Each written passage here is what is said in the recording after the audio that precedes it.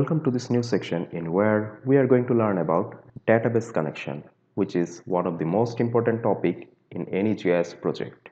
And in this lecture, we are going to learn what is database connection and types of database connection. Database connection means connect to database. It could be attribute table with another attribute table or attribute table with another DBF file or it could be attribute table with another Excel file.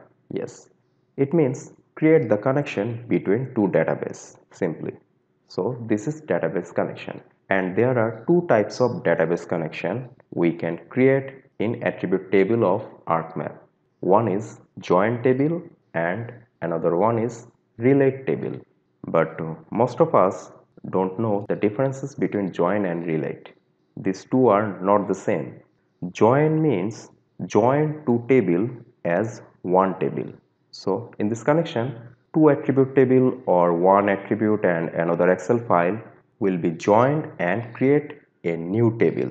This is join table and relate table means create the relation between two table. It does not mean it will create another new table by combined these two tables. By using join, we can create another new table by combine those two tables. And in relate, those two tables will be separated but it will create the relation link between these two tables. Let me show you.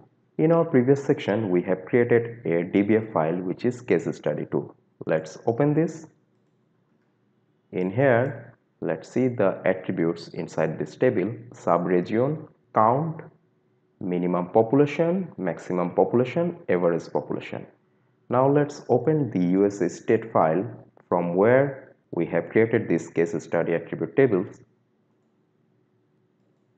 In here we have many attributes but we don't have these attributes inside US state. There are one common field inside these two attribute tables which is subregion. This one is exist also in case study 2 table and also inside this State table. So this is the common field. So when we are going to use join and relate option, definitely we should have a common field between these two tables. Now let's see what will be happen if we join these two tables. We will learn in our further lecture how to join and how to relate uh, what are the steps but in this lecture we will learn what is join, what is relate and what is database connection. Let me show you after joining these two tables the result will be this one. So after joining it will create a new table instead of previous USA state in where we can see the change inside this table.